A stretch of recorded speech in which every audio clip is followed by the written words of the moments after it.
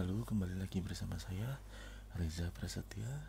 Di sini saya selaku Technical Advisor dari PT Sinex Metro Data Indonesia. Di sini saya ingin mencoba menjelaskan tentang bagaimana cara menginstal delivery agent di master image. Ini untuk Citrix Virtual Apps atau yang biasa dikenal dahulu adalah ZenApp.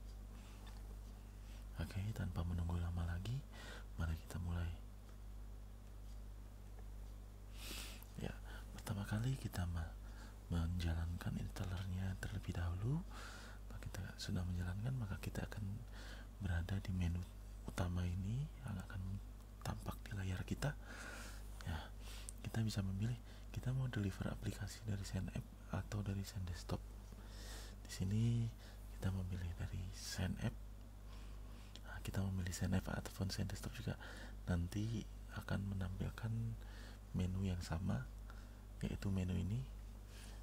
Di sini kita bisa lihat apabila kita ingin menginstal virtual delivery agent di Windows Server maka otomatis dia akan tampil virtual delivery agent untuk Windows Server OS dia akan tampil otomatis seperti ini. Lalu kita pilih ini untuk menginstal. Oke. okay. Yang pertama kali adalah dari environment di sini kita memilih uh, konfigurasinya mau seperti apa. Kita sekarang ingin membuat master image suatu master image baru untuk digunakan sebagai uh, master pada saat ingin membuat VM dengan metode MCS atau machine created service atau kita mau dengan metode PVS atau provisioning service ini juga bisa dengan master image sini atau kita juga ingin mengenable koneksi ke uh, server. Kita bisa memilih yang ini. Dengan memilih ini, ini kita bisa memilih uh, untuk menginstal VDA ke physical server atau ke VM yang sudah diprovisioning tanpa menggunakan VDA atau Virtual Delivery Agent. Di sini kita membuat master image, kita pilih yang pilihan yang pertama, selanjutnya next. Kita masuk sini kita mau menambahkan core komponen apa. Untuk virtual delivery agent pasti udah secara default kita akan tercek di tik untuk diinstal lalu kita juga menginstal Citrix receiver.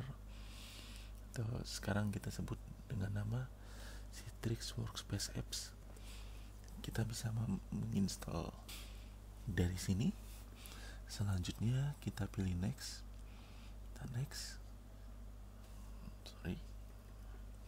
Maka kita ingin menambahkan additional komponen apa?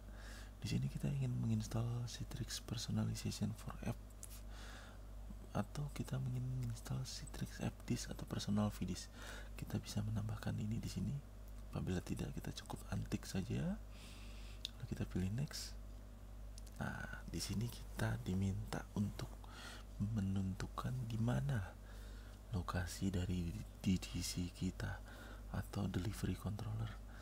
Kita bisa memilih nanti misalnya ini biasa kita pakai apabila kita menginstal VDA tanpa uh, menginstal delivery controller terlebih dahulu biasanya ini digunakan apabila pada saat deployment kita menginstal membuat master image secara terpisah atau kita menginstal DDC dengan master image ini secara paralel. Lalu kita juga pilih secara manual juga bisa dengan memilih duit manualnya dengan menginput uh, eh, IP ataupun hostname dari DDC kita. Atau kita juga bisa memilih melalui AD Active Directory. Tentu saja untuk bisa memilih melalui AD kita harus join AD terlebih dahulu Active Directory-nya di master image yang sedang kita install ini di OS yang VM OS yang kita install ini atau kita bisa memilih uh, mesin MCS-nya atau mesin creation service-nya untuk memilih secara otomatis mana di letak di DC-nya atau delivery controllernya. Selanjutnya kita memilih untuk menginstal fitur apa. Di sini kita juga bisa memilih optimize performance, atau mengoptimize di desktop setting. Kita bisa menginstal fitur use Windows Remote Assistance. Kita menginstal use real time audio transfer for audio dengan menggunakan UDP port 16500 dan sampai dengan 16509 atau juga bisa menggunakan frame hawk dengan mengaktifkan port UDP 3224 3324 sini saya memilih opsi yang pertama. Selanjutnya untuk default port firewall yang akan di allow untuk komunikasi dengan controller. Di sini ada port 80 TCP 1494 TCP 2598 TCP 8008 TCP 1494 UDP 2598 UDP di sini kita bisa memilih konfigurasi secara otomatis atau kita ingin mengkonfigurasi secara manual. Port mana saja. Apabila kita tidak menggunakan Windows Firewall atau kita ingin menggunakan rules sendiri. Selanjutnya kita next nanti dia akan muncul summary. Apa saja yang akan kita install berdasarkan konfigurasi yang sudah kita tentukan di sini mulai dari installation directory prerequisite-nya juga terus lalu masuk ke core, core komponen featuresnya serta port firewall yang kita enable tadi. Di sini setelah kita install, sebelum kita instalasi dia akan meminta untuk melakukan restart terlebih dahulu. Kita klik install. Apabila kita sudah selesai menginstall maka di sini kita akan uh, diminta untuk apakah kita ingin menggunakan Citrix Smart Tools atau tidak sini apabila ingin menggunakan dan berpartisipasi dengan Citrix Smart Tool atau Call Home di sini kita pilih yang atas. Di sini saya memilih untuk tidak berpartisipasi dengan Call Home. Lalu ketik klik next.